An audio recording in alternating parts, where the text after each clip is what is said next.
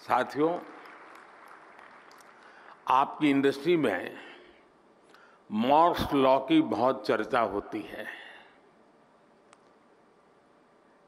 मैं इसकी बहुत बारीकी तो नहीं जानता, लेकिन इतना जानता हूँ कि एक्सपोनेंशियल ग्रोथ इसके हार्ट में है।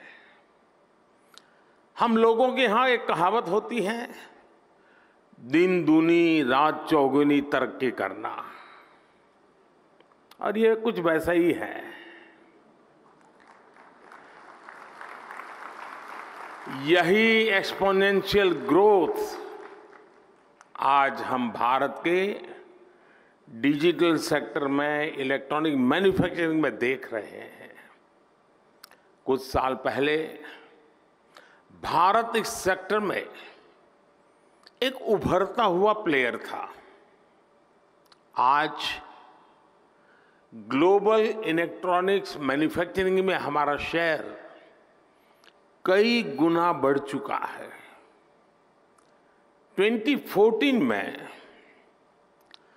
भारत का इलेक्ट्रॉनिक्स प्रोडक्शन 30 बिलियन डॉलर से भी कम था।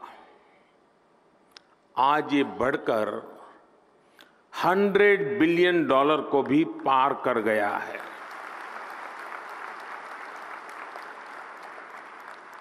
सिर्फ़ दो साल के भीतर ही भारत से इलेक्ट्रॉनिक्स निर्यात भी दो गुने से ज़्यादा हुआ गया है।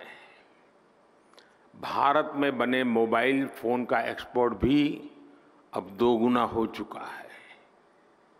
जो देश कभी मोबाइल फ़ोन का इंपोर्टर था। अब वो दुनिया के बेस्ट मोबाइल फोन्स बना रहा है, उनका एक्सपोर्ट कर रहा है। साथियों, कुछ सेक्टर में तो हमारी ग्रोथ मॉर्स लॉ से भी ज़्यादा है। 2014 से पहले भारत में सिर्फ़ दो मोबाइल मैन्युफैक्चरिंग यूनिट थे। आज इनकी संख्या बढ़कर 200 से ज़्यादा हो चुकी है।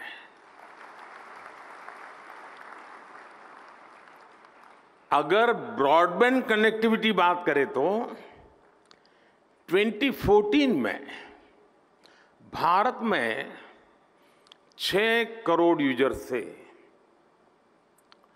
आज उनकी संख्या भी लगभग बढ़कर के 800 मिलियन, यानी 80 करोड़ यूज़र से ज़्यादा हो चुकी है। 2014 में, भारत में 250 मिलियन, यानी 25 करोड़ इंटरनेट कनेक्शन थे। आज ये संख्या भी बढ़ करके 850 मिलियन, यानी पचासी करोड़ से अधिक हो चुकी है 85 करोड़।